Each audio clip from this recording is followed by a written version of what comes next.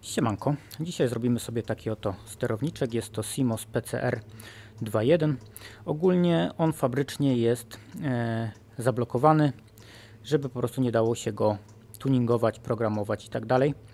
E, I ogólnie tutaj pokażę Wam jak można to w bardzo łatwy sposób zrobić e, Fox Flashem plus e, Benchbox wersja druga i normalnie tutaj podłączony tylko i wyłącznie po pinach bez potrzeby otwierania.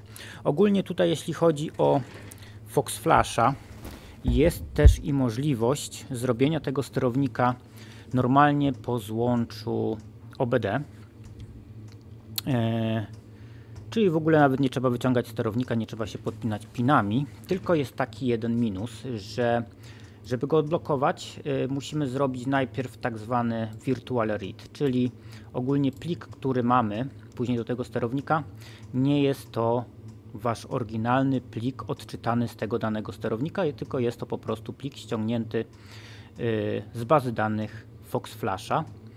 Y, ale jest taka opcja i później po prostu jest na, dorzucana nakładka, która odblokowuje Wam sterownik i możecie już później normalnie go odczytywać i zapisywać. Także da się to zrobić tak, tylko mówię, tylko że jest to virtual read. Jeśli chcecie zrobić e, po pinach, to znaczy dawniej tak było, e, że jeśli chciałeś na przykład odczytać ten sterownik po pinach, czy po złączu, czy coś, trzeba było go najpierw odblokować e, w tak zwanym boot mode, czyli trzeba było e, po prostu sterownik otworzyć, rozklejać, e, podpinać rezystorki, robić zworeczki. Zresztą tutaj Wam pokażę jak to dawniej wyglądało. Zresztą do tej pory też można tak zrobić, tylko że już po prostu tak nie trzeba robić. Także e, tutaj widzicie na dole schemacik. E, trzeba było po prostu tutaj robić sworkę e, z rezystorkami plus do tego podłączyć się po pinach do wtyczki. Także tak to wyglądało. E, ogólnie jest, są też inne oczywiście programatory, które są w stanie to zrobić też po złączu, tak jak to robi Fox Flash, tylko że są o wiele droższe, dlatego Wam to pokazuję, jako że ten interfejs jest dość powiedzmy tani, a robi bardzo, bardzo dużo, tylko że no mówię, musicie mieć troszkę doświadczenia albo dokładnie czytać wszystko e, w instrukcji, żeby po prostu czegoś nie uszkodzić. Także co? E, pokażę Wam jak to zrobić w trybie Bench Mode czyli po prostu tutaj wchodzicie sobie w opcję e, Bench Mode. Wybieracie sobie Audi. E, to jest TC1796 e, CMOS PCR 2.1 i tutaj macie klikniecie na info. Macie pinout jak to wszystko podłączyć. Mm, także plus minus brązowy, biały, e, niebieski, pomarańczowy i tutaj jeszcze dwa plusy. Mm, I tutaj jeszcze jest taka właśnie fajna opcja, że Wam pokazuje, czy jest EEPROM zablokowany, czy nie. Jeśli jest, to musicie po prostu odczytać ten sterownik w pełni i to rzeczywiście odczytujecie soft, czy tam program, który jest e, aktualnie w sterowniku. Także macie oryginalny wsad z własnego sterownika odczytany w pełni. I później jedyne co robicie, zapisujecie z powrotem EEPROM i po prostu oprogramowanie Foxa Was się zapyta, czy chcecie, czy chcecie dorzucić nakładkę do odblokowania sterownika, przez co później już możecie go normalnie odczytywać i zapisywać po złączu. I to wszystko po prostu da się zrobić bez otwierania sterownika, a później już w ogóle bez wyciągania go. Także co, tutaj Wam pokażę jak to wszystko dalej wygląda, czyli co, yy, ja tutaj ogólnie już jeden odczyt robiłem i mam wszystkie pliki, yy, ale zrobimy sobie jeszcze raz yy, tak żeby Wam pokazać jak to wszystko wygląda, także te pliki sobie przerzucę w jakiś tam folder obok. Dobra. E, I robimy tak. Tam zgodnie z pinoutem podłączacie, czyli Fox Flash, Benchbox. E, tutaj macie ten dodatkowy kabelek, multifunction cable i podpinacie po pinach, tak jak tam jest w schemacie. E, zasilanie ja ustawione mam tam około 13,5 V.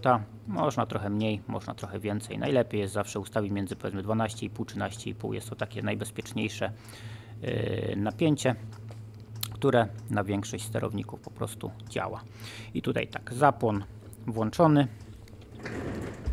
i robimy odczyt. Tutaj nie będę robił żadnych cięć, także zobaczycie ile to trwa. Yy, także co? Dajemy połącz.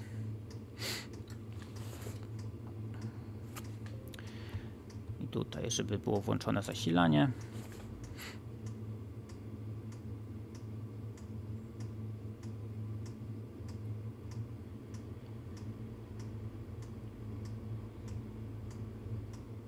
Dobra. I tutaj macie mm, jaki jest procek. E, tutaj macie, który obszar jest zabezpieczony.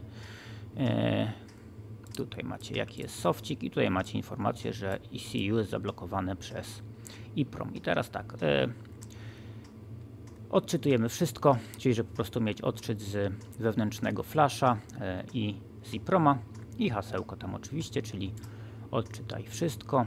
E, zapis zrobimy sobie po prostu, ja sobie często zapisuję tak pliki, że po prostu zapisuję jakby numer oprogramowania, czyli 03 L 906023 L i co? Zapisz i zaraz nam zacznie odczytywać całą zawartość sterownika, czyli flash i EEPROM. I tutaj tak, trzymaj połącze, zasilanie włączone.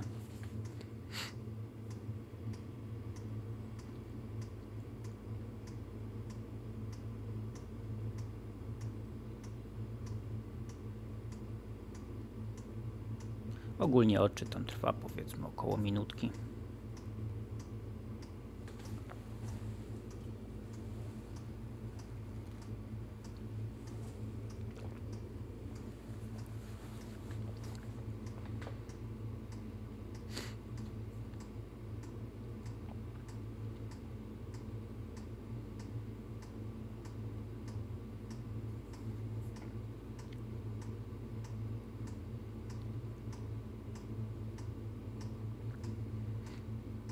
Mamy już 50%.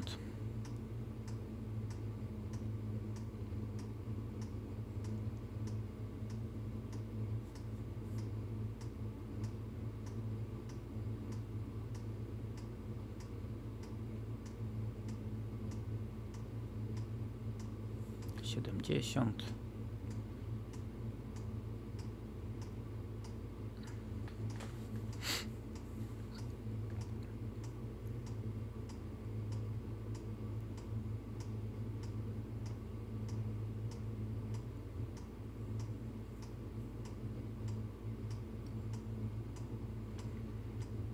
Czyli troszkę ponad minutkę macie odczytany flash, teraz odczytuję i proma, czyli jakieś 10 sekund.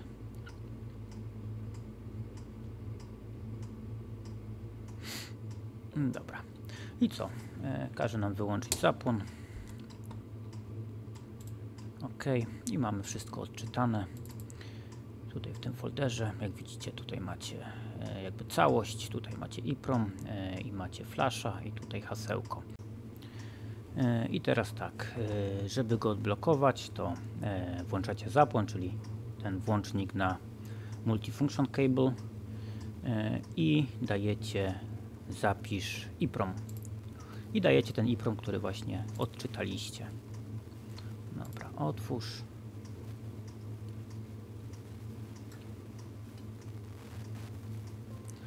Trzymaj zasilanie włączone, OK.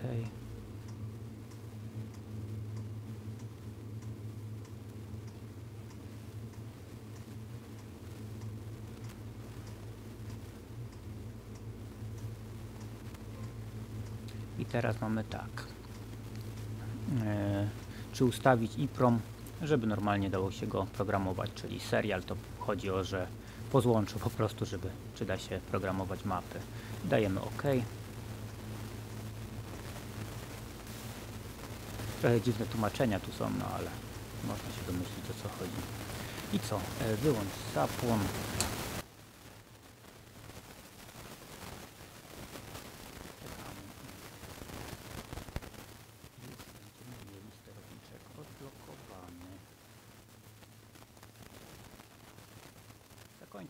Dobra. Teraz jeszcze zobaczymy, czy nam zniknie tutaj ta informacja, informacja że jest ECU zablokowane przez EEPROM. Włączamy sobie zapłon. Dajemy connect.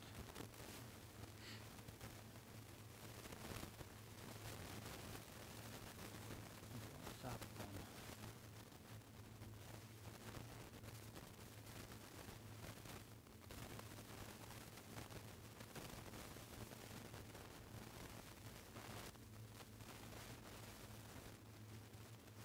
I mamy informację, że sterownik jest odblokowany. Czyli już nie mamy, że jest locked, tylko unlocked by Chrome. Także operacja się powiodła. Dobra, tutaj jeszcze dlaczego e, może się przydać takie odblokowanie sterownika, no więc tutaj e, robię programowanie w takim 1.6 TDI-ku. Ogólnie te silniki, one może są i ekonomiczne, ale tutaj po pewnym czasie no, sypie się dosłownie wszystko. E, uszkadzają się klapy na dolocie, uszkadzają się tutaj klapeczki w kolektorze ssącym, uszkadzają się EGR-y, uszkadza się sterowanie turbosprężarką, zapychają się DPF-y, e, kruszą się wiązki elektryczne przy wtyczkach, także potrafią być uciążliwe. Ale ogólnie no nie jest to głupi silnik, ale mówię, potrafi być uciążliwy. Tutaj w tym przypadku e, była ukruszona instalacja, ktoś to grzebał, dlatego sterownik wcześniej już był wyciągany, tak jak widzicie tam e, ta, w ogóle ta obudowa zabezpieczająca na wtyczki była ścięta ze sterownika. Mm. Ale to może i dobrze, bo dla mnie było mniej roboty, łatwiej go wyciągnąć. E, a wyciągałem go dlatego, że po prostu sprawdzałem na początku wiązkę. Uwaliła się wiązka pomiędzy map sensorem, czyli czujnikiem e, do ładowania, a sterownikiem silnika. Po prostu ukruszyła się przy e, wtyczce, trzeba było tam to od nowa wszystko zrobić. A drugi błąd po prostu to e, tutaj ten silniczek się przepalił, jako że nie był już w stanie tam ruszać dźwigienką od klapek w kolektorze ssącym. Nie wiem, czy tam będzie tak widać, ale tam macie taki to coś tam. To po prostu się obraca i przesuwają się, e, otwierają, zamykają się dodatkowe klapeczki. Tutaj ogólnie steruje tym silniczek, który on tutaj się rusza, ale niestety już się spalił, także ja to po prostu wyłączę systemowo, jako że no nawet jak się wymieni ten silniczek, to i tak to nie będzie działało, jako że kolektor by trzeba było tak naprawdę wymienić, e, bo te klapeczki już tam po prostu stoją. E, Także wyłączę to systemowo. Jest to najskuteczniejsze. Najskute, najskuteczniejsze rozwiązanie, żeby to ten problem wyeliminować, który prędzej później i tak by później powrócił, no jakby się kolektor wymieniło. Yy. Także co? Yy, ja sobie robię oprogramowanie do tego sterownika i biorę się za jego programowanie. Już może być po złączu, może być przez benchboxa, to już obojętne, jako że sterownik mamy odblokowany. Mam nadzieję, że komuś się to przyda, jako że jest to bardzo popularny silnik, jeździ tego masa w Golfach, w A3, także... A i tutaj jeszcze, żeby nie było, że po złączu nie idzie, to macie tą A3.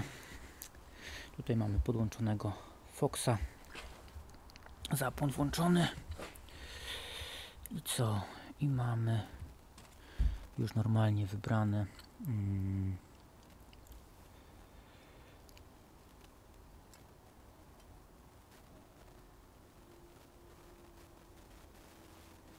I mamy CMOS PCR 2.1 odczytało całe ID. Tutaj mamy, że ECU odblokowane przez EEPROM, e, zablokowane jeszcze w flash, ale to w niczym nie przeszkadza. Hmm, dajemy sobie otwórz plik e, i tutaj wrzucam sobie już e, klapeczki i dajemy zapisz. Zaraz powinien rozłączyć wszystkie sterowniki i zacząć zapis.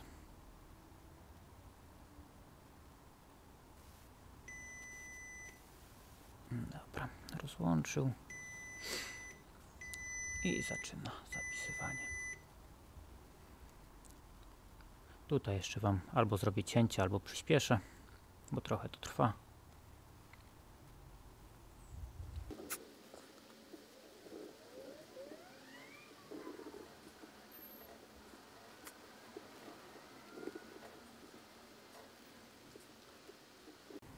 Dobra, mamy 96% e, 3 minuty 40 sekund. Zaraz powinna choinka tutaj z licznika nam zniknąć, jak zakończy programowanie. E, Dobra, wyłącz zapłon.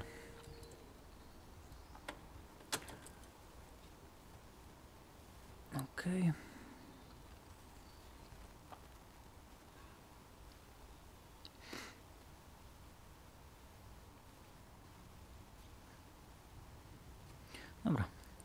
I programowanie zakończone. Także można odłączyć interfejs. Później przeskanować tam błędy, żeby wykasować wszystkie błędy braku komunikacji ze sterownikiem silnika. I w sumie tyle. Robota zrobiona.